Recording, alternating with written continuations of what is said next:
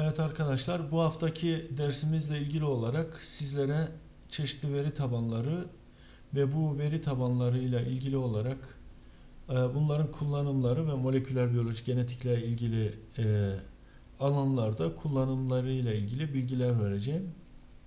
Yani bu e, veri tabanlarını bir daha anlatacağız. Dolayısıyla hani bir biraz bir fazla sürebilir. Ee, şimdi ilk olarak arkadaşlar Gen Bankası'na e, gidelim. Şurada zaten şeyi görüyorsunuz. Ben önceden e, Gen Bankası'na yani e, NCBI'ya girdim. Burada görüldüğü gibi ekranda görüyorsunuz. Önce hani aramış olduğumuz genle ilgili olarak şurada nükleotidi seçiyoruz. Bakın burada nükleotidi seçtik ve hiç yok proteini araştırdık. Ee, şimdi burada bir kısım genlere böyle ulaşılabiliyor. Bakın burada bir kısım genlere ulaştık. Mesela e, örnek olsun diye human e, yani homo sapiens e, hiç proteinin 90 alfasını ve bu 4 numaralı izoformunu ve 2 numaralı izoformunu hani açtım. Varyantları diyelim. Bunları ondan sonra böyle e, yani gene gene ulaşabildiğimiz gibi çok çeşitli şeylere de ulaşabiliyoruz. Bakın burada nelere ulaşılabiliyor? Ee, özellikle bizi çok ilgilendiren genom, gen, çok çeşitli kitaplar, ondan sonra e, proteinler ve taksonomik e, yapılar, e, synapsler, PubMed dediğimiz hani e, bununla ilgili yayınlara falan da ulaşılabiliyor. Dolayısıyla arkadaşlar e, bu tip şeylere ulaşabiliyorsunuz. Yani bizim e, öncelikle hani bunu yapmamdaki gaye buradan bir kısım genleri alacağız ve diğer veri tabanlarında kullanacağız. O yüzden hani buraya bir girmiş olduk. Bakın buraya Google'a şöyle NCBI şeklinde yazıp bu şekilde de girebiliyorsunuz. Bakın bunun e, uzun ismi National Center for Biotechnology Information. Yani bununla ilgili e, veri tabanına buradan ulaşılabiliyor. Şimdi bakın burada yeni sekmede açayım. Burada görüldüğü gibi bu, bu şekilde bir e, şeye e, internet e, sayfasına ulaşmış oluyorsunuz. Burada bizim için önemli hususlardan birisi arkadaşlar şu blast bizim için çok önemli. Hani blast ne demektir? Blast e, diyelim ki elinizde bulunan bir nükleotit dizisini e, blast'a yapıştırdığınızda bakın şurada bu blast ondan sonra bakın nükleotit dizisi ya da translated nükleotit protein şeklinde nükleotit blast şeklinde olan e, arayüzleri var. Nükleotit blast'a biz girelim. Diyelim ki bir e, elinizde bulunan bir nükleotit dizisi olsun. Bu blasta yapıştırdığınızda bununla ilgili olarak mesela şöyle Homo sapiens çok protein işte 90'ın alfasının bir nükleotit dizisini alalım. Bunu mesela şuradan kopyalayalım.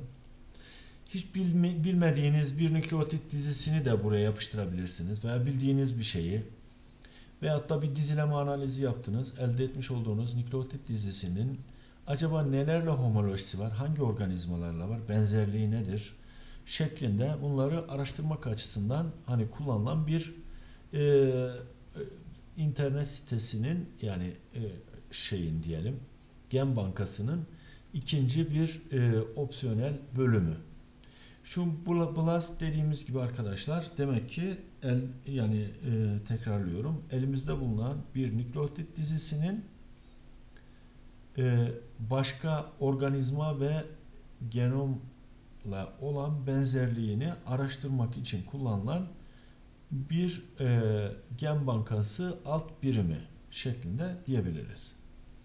Bakın burada hiçbir şeye dokunmadan yani burada e, nükleotit koleksiyonuna e, bakılıp buradan buna göre de seçilebiliyor. E, şuradan blast diyelim. Bakın bu blast'a girdiğimizde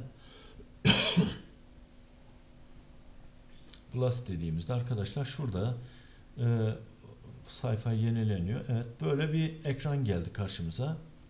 Bakın şimdi burada burada biz ne anlış anlıyoruz? Bakın bizim elde etmiş olduğumuz şu e, daha doğrusu buradan kopyalanmış olduğumuz nükleotit dizisini blastladık.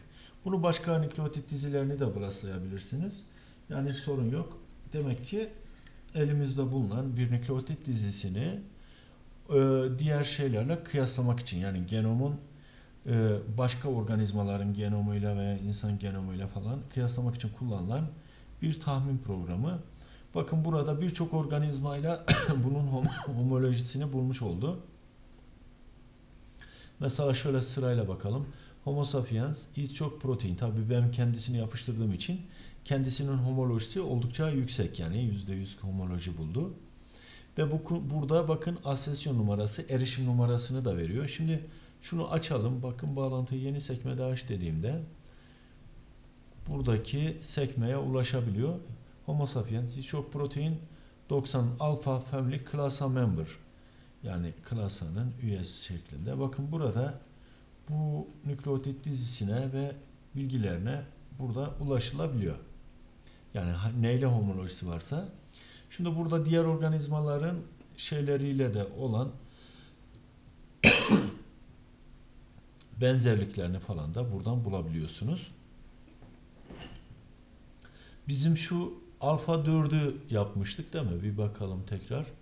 90 alfa 4. Bakın buydu. Dolayısıyla hani şurada blast'ın neticesinde bakın 90 alfa 4 bu. Demek ki şunla class A ile class A member 1 bu da member 1. İşte bakın variant 1 2 şeklinde bunlarla da homolojisi varmış bakın.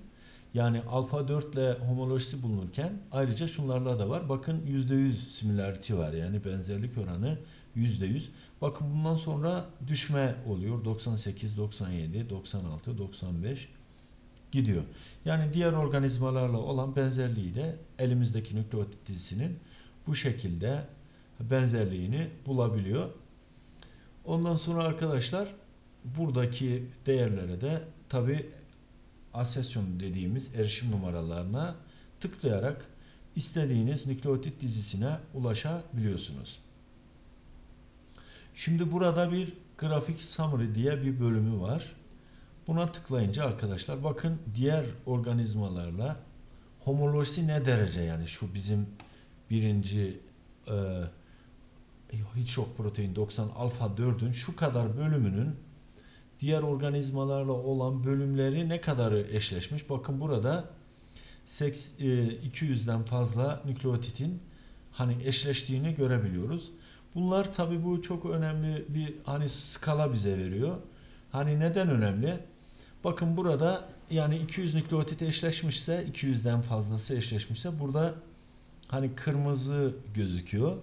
Eğer 80 ile 200 arası olursa pembe, 50 ile 80 arası olursa yeşil, 40 ile 50 arası olursa o zaman mavi ve 40'tan küçük olursa siyah şeklinde e, bir renk skalası bize verebiliyor. Dolayısıyla hani nerenin eşleştiğine baktığımızda bakın buralar o bizim nükleotidimizin tamamının eşleştiğini görüyoruz. Şuralarda bir kısımlar tamamının eşleşmediğini yani bir kısım nükleotitler eşleşmemiş. Yani şuralarda bakın eşleşmemiş. İşte bunlar bize hani şuralarda gene küçük küçük eşleşmeyen noktalar var. O da bizim skorumuzun oranını gösteriyor. Zaten bakın şurada küçük e, eşleşmeyen bölümler var. Yani o oranları gösteriyor. Bakın burada görüldüğü gibi işte bir kısım eşleşmeyen noktalarda bulunabiliyor. Tabi bu hani eşleşme oranı dediğimiz gibi yüzde 98 falan olunca e, dolayısıyla e, buradaki skalada onları çok görmeniz bakın 99 98 hani görmeniz çok fazla elverişli olmuyor. Dolayısıyla bu renk skalası bize e, şuradan tekrar geleyim. Hani onları o konuda bize bilgi veriyor. Yani şurası. Bu konuda bilgi veriyor. Buna bakın bir tıkladığımızda bakın şurayı bağlantıyı yeni sekmede aç dediğimizde birinci organizmaya ait bilgileri burada şeyde açacak. Yani şuraya tekrar buraya gelmiş oldu ama bir dakika şöyle tıklayınca. Ah evet. Şurada görüldüğü gibi bakın buradaki e, Eligment'a tekrar ulaşabiliyorsunuz ve nereler benzerlik göstermiş onlara tekrar buradan ulaşmanız mümkün olabiliyor. Arkadaşlar bu grafikler falan yani arayüzler sık sık değiştiği için hani sonuçta bazen biz de e, şey yaşayabiliyoruz yani e, bazı e, daha önceden hani alışkın olduğumuz şeyin dışında bazı noktalar çıkıyor. Oradan da şaşırabiliyoruz. Onlar normal. Çünkü zaman içerisinde çok fazla hani değişimler çok fazla olabiliyor. Dediğimiz gibi e, burada bu konuyla ilgili bilgilere ulaşmamız mümkün olabiliyor. Şimdi şurada grafikle ilgili e, evet bazı şeyler e, gene e, hatalar olabiliyor. Neyse onlar çok önemli değil.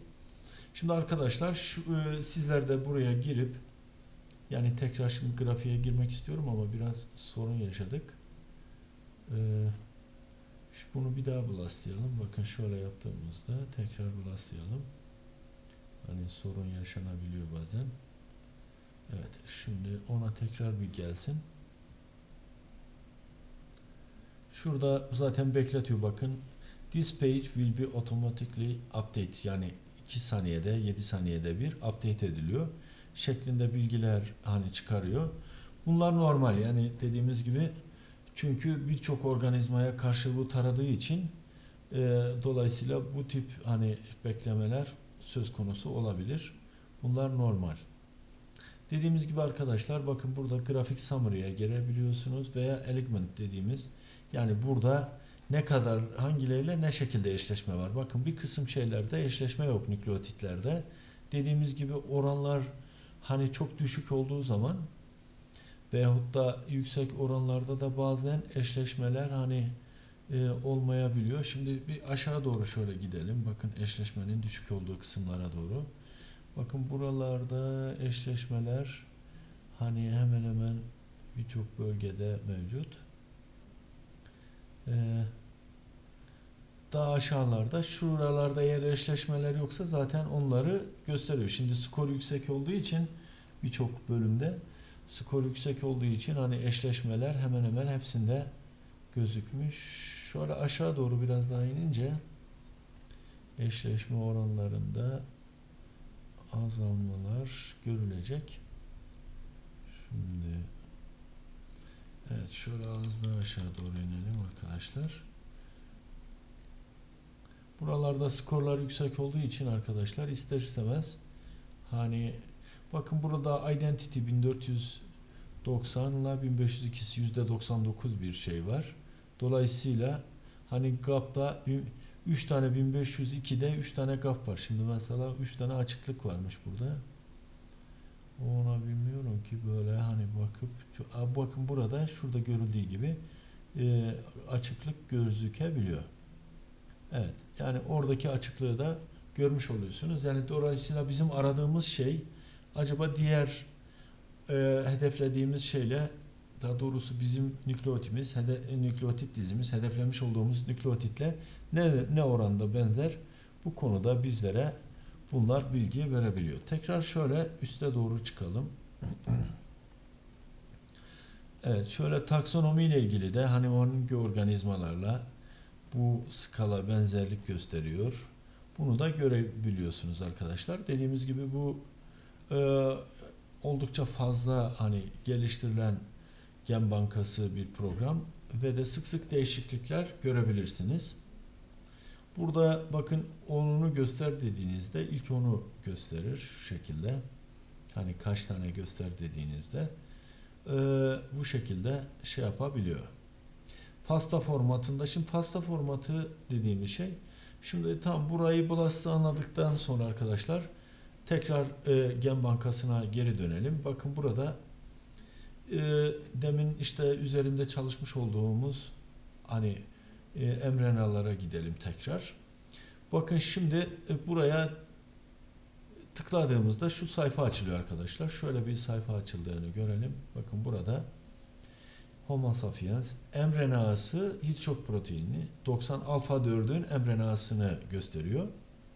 Şimdi burada bir kısım bilgiler var arkadaşlar. Gen bakın genin hani 1 ile 3182 arasında de, nükleotitte değiştiğini coding sequence'e girdiğimizde bakın coding sequence yani kodlayıcı bölge neresidir? Bakın bu metionun başlangıç kodunu ATG ile başlıyor.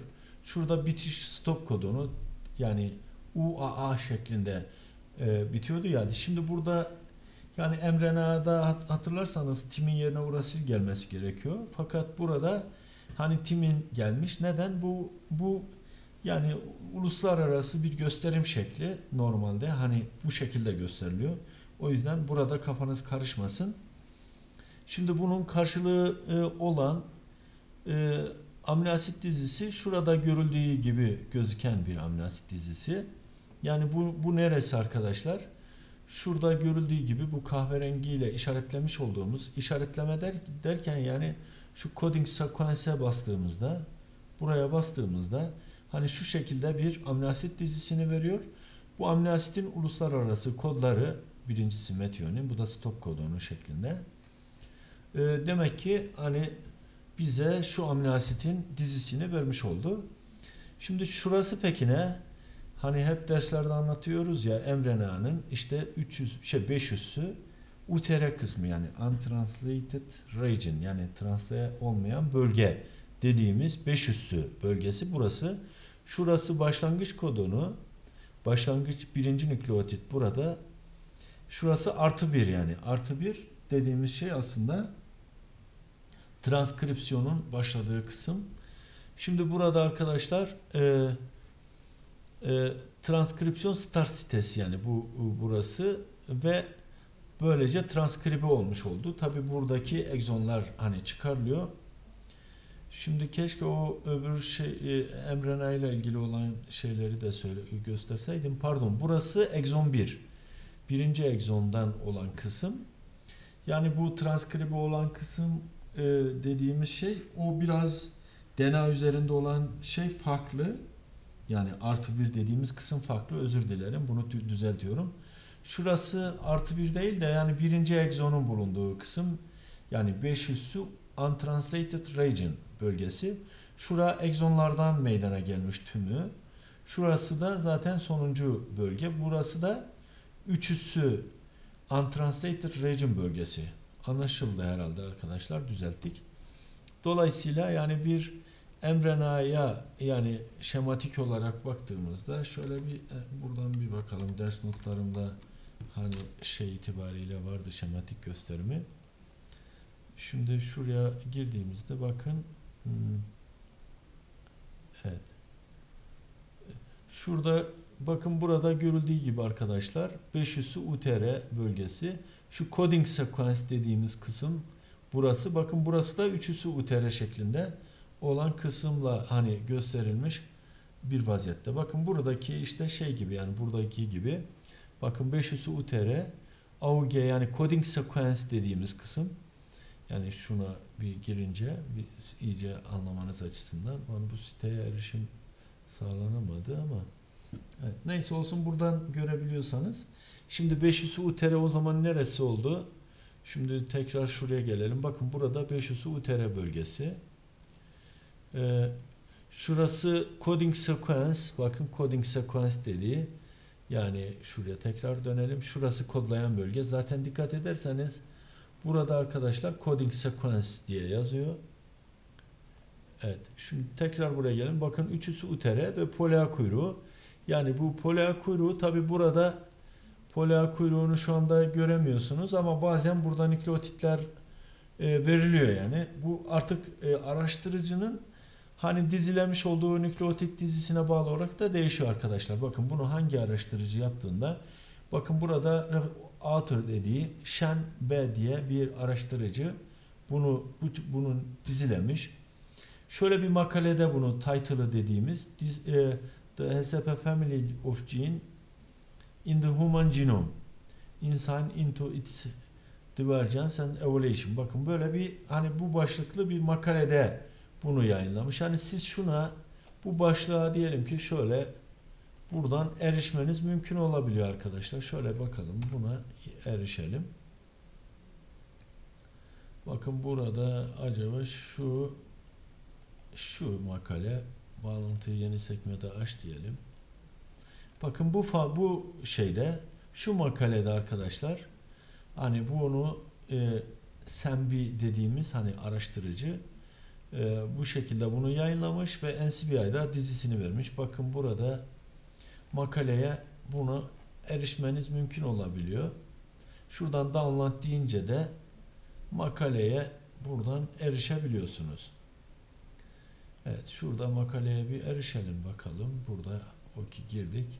Bakın burada makaleye eriştik. Yani şu makalede e, hiç çok proteini bakın hiç çok proteinle ilgili zaten çalışma yapmış.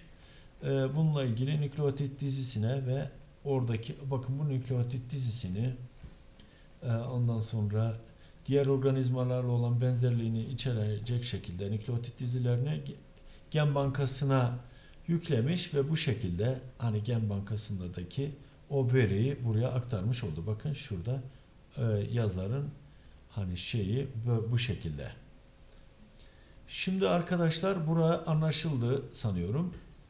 Şimdi e, şurada bir kısım bilgiler var. Tekrar buraya dönünce biz yani şeye e, yani şuradaki açmış olduğumuz genden şu alfa 4 olana tekrar gelelim. Şimdi bakın burada alfa 4 olana tekrar geldiğimizde e, evet şurada e, bir kısım hani lokusla ilgili bilgiler e, tanımlar ondan sonra bir kısım asesyon numarası, erişim numarası falan bunlar şu şu erişim numaraları önemli. Arkadaşlar bu erişim numarasını yazınca mesela diyelim ki şu asesyon numarasını kopyalayalım. Bakın diyelim ki demin girdiğimiz NCBI'ye tekrar girelim. Bu e, şuradan NCBI'ye yeniden girelim. NCBI Şimdi bakın buraya tekrar girdiğimizde arkadaşlar diyelim ki asesyon numarasını yapıştırdık. Ee, şöyle search diyelim. Bu numaradan bakın burada hiç çok proteini direkt hani bulabiliyorsunuz. İşte o erişim numarası aslında bunun bir kimliği yani bir noktada. Bakın şuna geldiğimizde gene aynı yere gitmiş olduk. Yani bu erişim numarasından bakın şurada yani dediğimiz gibi asesyon numarasından buna tekrar ulaşmış olduk. Yani gen zaten gene hani bu şekilde tüm gene ulaşmış oluyoruz arkadaşlar. Ee, yani intronlar, egzonları içeren kısım. Burada tabii egzonlar var. Yani intron şeyler, intronlar gözükmüyor. Dolayısıyla hani coding sequence'e de bastığımızda 500'ü, 300'ü noktaları da görebiliyoruz. Ve de coding sequence'i yani dizi analizini komple görebiliyoruz e, kodlayan bölümü. Şurada da dediğimiz gibi buradaki amino dizisine ulaşmamız mümkün olabiliyor. Şimdi arkadaşlar e, buradan e, şöyle tekrar bir size dönelim. Acaba nasıl gidiyor? Bir aşağıdan yazabilir misiniz arkadaşlar? Hani konu nasıl gidiyor? Anlaşılıyor mu? Veyahut da kay e, şeyle erişimle ilgili sorunumuz var mı? Şöyle evet. Ruana arkadaşımız yazıyor. Şimdi bu videoları daha sonra hani bir daha izleyebilirsiniz. Hani sonuçta sesim geliyorsa e, sorun yok yani.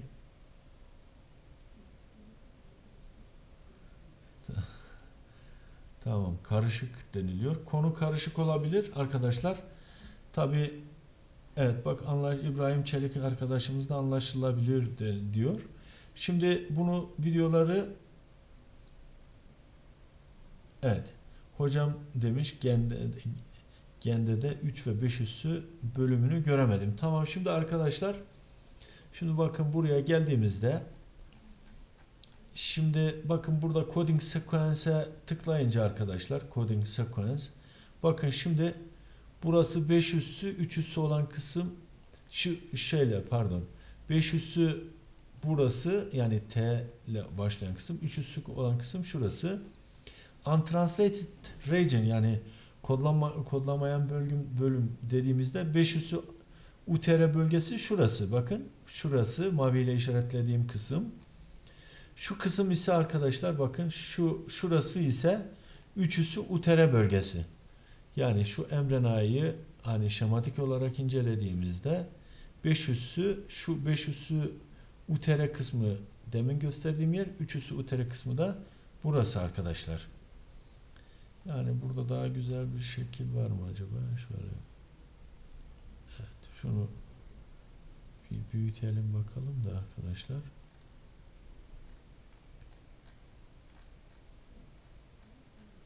Evet. Şurasını tam büyütebildik. Bakın burada 500'ü UTR, 300'ü UTR ve Operating Frame dediğimiz Coding Sequencia'da dediğimiz bölümler burada gösterdiğimiz kısımlar yani arkadaşlar. Şurada yani 500'ü şurası Coding Sequence bu kahverengiyle olan kısım. 300'ü UTR ise şurası. Herhalde şimdi anlaşıldı değil mi? Alttan yazarsanız Tuana Rana arkadaşımız herhalde anladığını düşünüyorum şimdi. Alttan yazarsanız anlaşıldı mı? Evet anladım tamam demişsiniz. Tamam arkadaşlar şimdi tekrar şuraya döneyim. Bakın biz ne yaptık? Nükleotit yazdıktan sonra hişok proteinini araştırdık. Bu insanda human buradan sol kısımda olan humanı seçtik insanı. Şimdi buraya geldiğimizde arkadaşlar bakın insanla ilgili olan sadece hani şok protein bir sürü çok protein var. Bakın burada 70 var. İşte biz şimdilik incelemek için hani şu 90'ı aldım ve şu alfa 4 ile alfa 2'yi aldım. Bakın şimdi alfa 4 şuydu arkadaşlar. Alfa 4 şurayı kapatayım. Şimdi alfa 4 bu. Alfa 2 de şu. Arkadaşlar şöyle döneyim tekrar. Bakın bu da alfa 2. Bu şekilde alfa 2'nin de nükleotit dizisi burada. Şimdi acaba alfa 2 ile alfa 4 birbirine ne kadar benziyor? Ya da benzerlik oranı ne? Bunu iki şekilde yapabiliriz. Birincisi hani demin sizlere ifade ettiğim gibi mesela alfa 4'ü tamamını alıp yani şuradan bir fasta diyelim. Bakın bu fasta demek arkadaşlar nükleotit dizisini tamamen o sayıları hiç olmayacak şekilde vermesi anlamına geliyor. Şimdi onu bize bir göstersin. Bakın FASTA formatı bu. Şimdi bu şekilde FASTA formatından bu bütün nükleotitleri seçip kopyalayıp şuradan blastlayarak mesela diyelim ki tekrar geri dönelim şuradan blast'a geçelim. Ee, NCBI'nin şu pardon oraya da tıklamayacaktık. Şu NCBI'ye tekrar ana sayfasına girelim. Bakın şuradan BLAST'a girince arkadaşlar nükleotit BLAST'a girelim tekrar. Bakın o bütün diziyi aldım bu sefer. Bütün dizi acaba hani hangi organizmalarla ne tip bir benzerliği var şeklinde. Bu elde etmiş olduğumuz nükleotit dizisinin hani tüm gen bankasındaki başka organizmalarla olan hani homolojisi ne derecededir? Nelerle benziyor, nelerle benzemiyor şeklinde bir bilgiye ulaşmak için bu şekilde braslama yapabiliyoruz. Bakın burada yani biz alfa 4'ü seçmiştik değil mi? Şuradan bir bakalım tekrar. Evet. Alfa 4'ü seçtik. Şimdi buraya geldiğimizde bakın alfa 4 alfa 2 ile oldukça benzer. Bakın alfa 2 ile varyant 2 ile e, benzer. Şurada alfa 4 kendisiyle %100 örtüşmüş. Bakın diğerleriyle de örtüşmüş. Şurada bir kısımlarla ondan sonra farklı şekillerde örtüşme benzerlik oranları gözükebiliyor. Buradan erişim numaralarına da falan ulaşabiliyoruz. Şimdi şuradan alfa 2'nin erişim numarasına bir bakalım. Bakın alfa 2'nin erişim numarası AJ başı AJ ile başlıyor 82 ile bitiyor. Şimdi şuradan bir bakalım. AJ ile başlayıp 82 ile biten. Bu 83 ile olanı demek ki bunun varyantı olabilir. Yani şu neme asesyon e, şeyine bir bakalım. AJ şuna gireyim. Muhtemelen bu NM bağlantısıyla asensyon numarası farklı olabilir. Şimdi oraya tekrar girelim. Evet. Tamam. Bu da bir başka bir varyantı var. Demek ki onunla da benzerliği var arkadaşlar. Burada başka bir varyant daha çıktı. Şimdi onunla da benzerliği var. Bakın burada onunla da benzerliği bulunuyor. Şimdi burada bakın pola kuyruğunu burada görebiliyorsunuz. Şimdi şurada pola sitesi, poliadenlasyon sitesi demiş. Şuradan itibaren demiş. Ondan sonra mesela bu egzonlarını da vermiş bu araştırıcı. Bakın birinci egzonun bulunduğu kısım, ondan sonra ikinci egzonun bulunduğu kısım. Bakın burada egzonlarla ilgili bölümü de vermiş. Hani oraya geldiğimizde bakın burada e, birinci egzon. Şurası o zaman e, 5 500'ü utere olan kısım demek ki orası egzonun dışında olan bölüm şeklinde bu, bu tip bilgileri de vermiş. Demek ki arkadaşlar tekrar şu blastına dönünce o zaman bu varyant başka bir varyant. Yani bizim daha önceki bulduğumuz varyantlardan biraz farklı. Ee, o zaman şu AJ olanla e, artık burada bir demek ki onun homolojisi düşük olabilir. Yani yüksek değil de düşük homolojiyle bir benzerlik gösteriyor. Şimdi ben rastgele almıştım. Dolayısıyla arkadaşlar e, şöyle bir control find diyelim.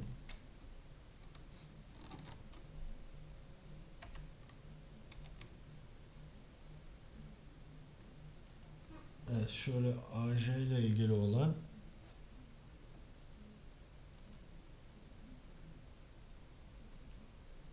Ha burada demek ki hani onu bir bakalım şimdi dördüncüsü demek ki arkadaşlar onunla da benzerliği var ama çok hani biraz daha düşük. Şimdi şunu söyleyeyim. Bu benzerlik oranlarını bakın birçok protein alfa like demiş mesela dediğimiz gibi %95 benzerlik var. Peki şimdi diyelim ki biz şu e, daha önceden bulmuş olduğumuz yani şuradan hiç çok proteini dedik. E, burada hiç çok proteini o zaman şöyle birkaç tane bulduk yani 90 alfa ile işte 90 alfa 2 4 ile 2 Şimdi bunlar acaba birbirlerine ne kadar benzer? Şimdi ona bir bakalım. Bu, bu şekilde bir benzerliği de. Ee, şöyle bir program var arkadaşlar. Buradan görüyorsunuz siz onu. Yani notlarda da var. Cluster, cluster, cluster omega şeklinde veya cluster W şeklinde de hani şey olarak geçiyor. Bakın şurada hani biz onu şöyle bir, bir dakika bir şey yapalım. Evet. Şimdi arkadaşlar bunların hani erişimle ilgili olan linklerini zaten e, slaytta vermişim ben. Oradan bakarsınız. Şimdi bu erişim numarasını yapıştırınca arkadaşlar bu slaytta verdiğim numarayı şöyle bir Cluster Omega diye bir e, site karşımıza çıkıyor. Şimdi burada site karşımıza çıktıktan sonra şurayı DNA yapalım veya RNA da yapabilirsiniz ama buradaki hani DNA olduğu için e, veri.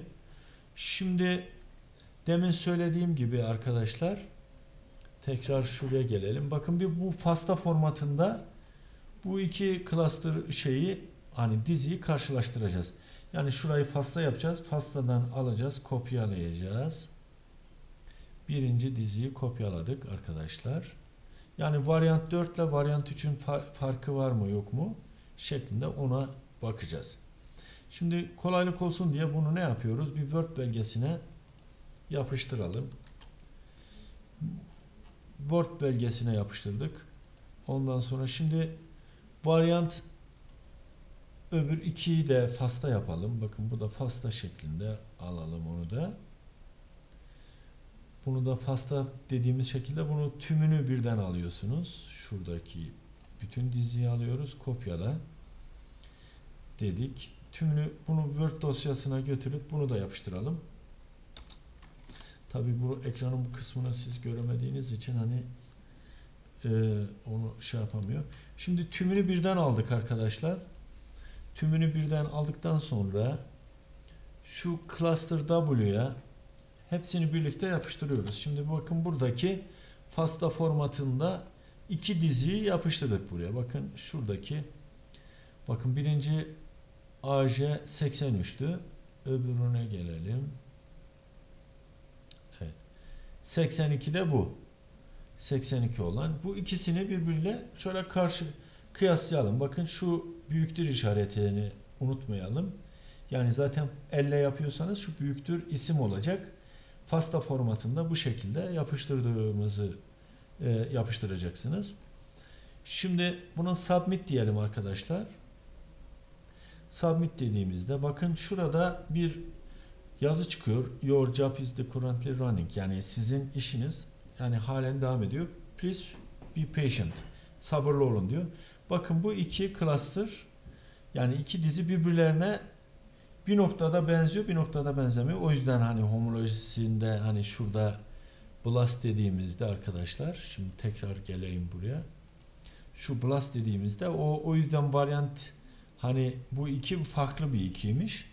Olmazsa bununla da kıyaslarız. Yani şuna da bir gidelim. Evet. Şimdi buna da gidince şu şekilde arkadaşlar varyant 2'nin hani diğerine de ulaşmış oluyoruz. Bakın bunu da FASTA formatında alalım. Bu bu biraz benzer. Şimdi şunu da FASTA 2 şeyi bu varyant 2'ye alalım. Evet. Şimdi arkadaşlar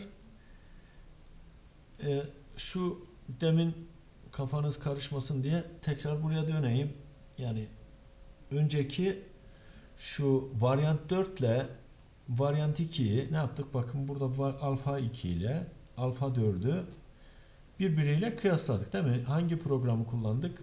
Buradaki demin cluster omega'yı kullandık. Şimdi ikisinde bakın şu bölümler birbiriyle oldukça homolojisi yüksek bakın. Ama şuralar bakın hiçbir birbiriyle homolojisi hiç yokmuş. Yani şunlar hiç bir kısım bu şu yıldızlar benzer.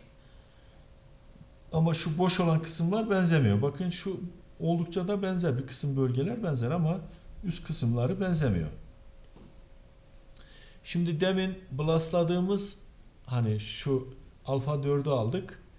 Hani şurada bir blastladık ya hatırlarsanız alfa 4'ü blastladık. Blastladıktan sonra şu varyant 2 ile yüksek bir homoloji vardı. Şimdi bu varyant 2'nin şeyini aldım ben. Şu 4 ile 2'yi bir kıyaslayalım. Bakalım ikisi ne kadar birbirine benziyor. Onu bir ikisini kıyaslayalım. Bir bakalım.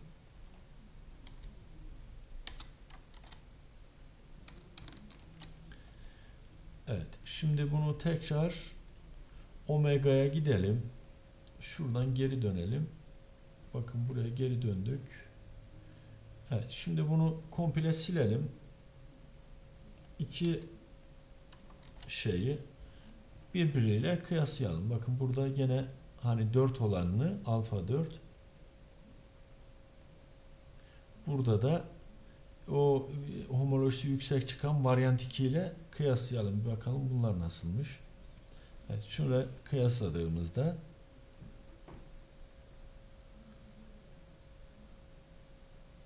Evet biraz bekliyoruz tabi. Hani bir patient dediğimiz şey aslında sabırlı olun demek arkadaşlar. Evet. Şimdi kıyas bakın ne kadar homolojisi yüksek. Bakın. Ha şurası şurası o diğerinin başıyla benzemiyormuş. O yüzden burayı nokta nokta dot bıraktı. Ama diğeri tümü benzer. Bakın. Tümü benzer. Hiç diğer bizim kıyasladığımız o alfa ile yani şu e, varyant alfa 4 ile alfa 2'yi kıyaslamıştık ya. Oradaki gibi bir sonuç çıkmadı. Bak onun şeyi de burada kıyaslaması arkadaşlar. Yani şu alfa 4 ile alfa 2'yi kıyasladığımızın sonucu buradaydı. Bakın burada gördüğünüz gibi bir kısım bölgeler hiç benzemiyor. Şurada görüldüğü gibi. Ama buraya baktığımızda bakın burada hiç benzemeyen kısımlar yok. Sadece şu bölüm hani baş kısımda bir e, şey var yani birisi diğerine göre kısaymış onu gösteriyor ama tümüyle birbiriyle örtüşüyor. Bak burası da kısaymış. Demek ki yani genlerin varyantları Bu şekilde arkadaşlar biri diğerinden kısa olabildiği gibi birinde birkaç nükleotit farklı e, ve kısalık yönünden de farklılık olabiliyor. Bakın yani şu yani 82 olan 83'ten 3'e göre biraz daha uzunmuş. Ve de şu bölümünde de bir farklılık varmış. Bakın o bölümü tamamen şuradan başlıyor. Buradan başlayınca arkadaşlar yani bir kısım hani örtüşmeyen noktalar var ve de bazı nükleotitler hiç yok. İşte bu demek ki varyantı varyantlar arasında bu tip farklılıklar olabiliyor. Evet arkadaşlar şimdi hani dediğimiz gibi çok da fazla hani bu konuda kafanızı karıştırmayayım. Şimdi konuyu tekrarlayalım. Konuyu tekrarlıyorum.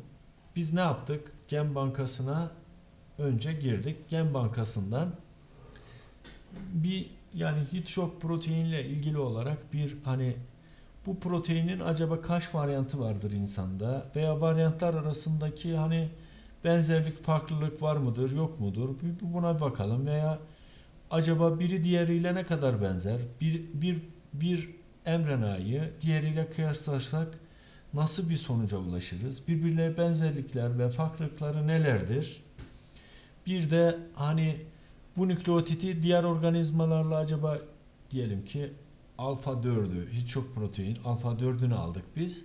Diğer organizmalarla benzerliği nedir? Oralarda homolojiler var mıdır yok mudur? Veya insandaki varyantlarıyla benzerliği nedir ne değildir?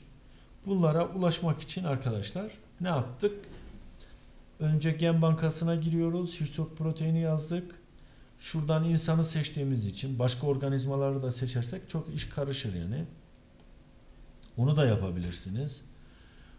O ve rastgele ikisini aldım. Yani buradan alfa 4'ü ve alfa 2'yi aldım. Bakın buna tıklayınca alfa 4 bu. Alfa 2 de şu arkadaşlar. Yani şöyle geri döneyim. Bakın alfa 2. Şu da alfa 4. Şimdi rastgele birisini aldım. Mesela önce bir inceledim değil mi? Ne yaptık? Önce inceledik. Dedik ki acaba bu nükleotidin coding sekansı neresi? Yani kodlayan bölgesi neresi? 500'ü UTR kısmı neresi? 300'ü UTR kısmı neresi? Hangi amino asit dizisini kodluyor? Onları şöyle incelemiş olduk. Eğer bize bu bilgiler lazımsa bunları kullanabiliriz. Yani bazı hocalarımız hani coding sekansı istiyor. Onu onu kullanabiliyor. Bazıları 500 UTR, 300 UTR istiyor. Onu alabiliyor. Ondan sonra bu amino asit dizisine ulaşıp kullanabiliyor. Bu şekilde verilere ulaşmamız mümkün olabiliyor. Buradan başka nelere biz baktık? Bir asesyon numarasına baktık. Bu FASTA'nın ne işe yaradığına baktık. Ve de ondan sonra şu gene gene baktık. Coding sequence'e baktık. Diğer e, nükleotitlerde de benzer özelliklere baktık. Şimdi ondan sonra ne yaptık arkadaşlar? Biz alfa 4'ü getirdik, blastladık değil mi? Şurada görüldüğü gibi blastlayarak yani şu nükleotit blasttan ve de ondan sonra blast sonuçlarına baktık. Hatırlarsanız hani blastladıktan sonra nükleotit blast diyoruz. Şuradaki nükleotiti burayı tekrar bir alalım. Yani tekrar ediyoruz yani. Şimdi bunu FASTA formatında almamız en güzeli. FASTA alalım. Bir parçasını alabileceğimiz gibi tümünü de alabiliriz. Şöyle bir bölümünü alalım. Bu ne yapıyor? Blast bize hani burada da varmış zaten de şurası blastlanmış hali. Bakın blastladığımızda şu şekilde bir görüntü veriyor. Burada hani bizim araştırdığımız şeyin skorunu veriyor. Diğer organizmalarla ne tip bir benzerlik olduğunu bize gösteriyor. Bakın burada hani e, şurada şempanze ile olan benzerliği nedir? 99.06 şeklinde asesyon numarasını da vermiş. Şu grafik summary dediğimiz hani homolojinin ne oranda nereleri benzer onları veriyor. Ee, ve benzerliğin hangi nükleotitlerde olduğunu veriyor ve taksonomisine de bakıyorsun. Primatlarla işte e, falan diğer organizmalarda da benzerliğini bu şekilde görebiliyoruz. Evet yani bu şekilde görebiliyoruz.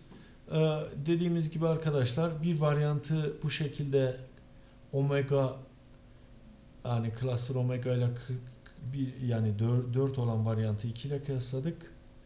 Şurada da başka bir varyantıyla kıyasladık. İkisinin arasındaki farkı gördük. Bakın birisi de çok benzer.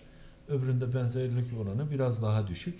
Bu şekilde hani verilerimizi değerlendirebiliyoruz. Bu benzerlik oranları arkadaşlar bize diyelim ki bir e, mRNA'nın diğeriyle ne kadar benzer olduğunu veyahut da bir bir gene ulaştığımızda hani bu gen diğeriyle karışabilir mi? Diyelim ki bir gene hedefliyorsunuz. O gene ulaşmak istiyorsunuz. Acaba diğeriyle bu karışır mı? Bunu merak ediyorsanız karışma olasılığı olanları bir bir gözden geçirmemiz gerekiyor. Yani moleküler biyoloji ile ilgili çalışmalar yaparken hani bu amaçla bu veri tabanlarının ikisini böyle kullanabiliyoruz. Şimdi evet arkadaşlar e, şuyla bu konuyla ilgili olarak şimdi bir kısım soruları da hemen buradan alalım. Şimdi hocam ders sisteme yüklenecek mi? Yüklenecek. Sorun olduğu için e, yeni girebildim. Tamam o e, bir- hocam bize bize de geçen döneme verdiğiniz gibi ödev mi vereceksiniz? O konuda hani arkadaşlar bu ödev mi vize mi ve galiba vize yapacağız ödev vermeyeceğiz. O yüzden hani bu konuları çok iyi çalışın ve dinleyin. Ondan sonra hocam bize de geçen dönemde verdiğiniz o aynı soru Ayşenur demiş. Tamam. Şimdi arkadaşlar Sefanur da yazıyor. Ee, Sefanur'un da sorusunu bir alalım bakalım ne yazıyorsa. Ee, konuyu da tekrar ettik. Bu şekilde hani videomuz da devam ediyor arkadaşlar. Videoda ulaşmanız mümkün olabiliyor dediğimiz gibi.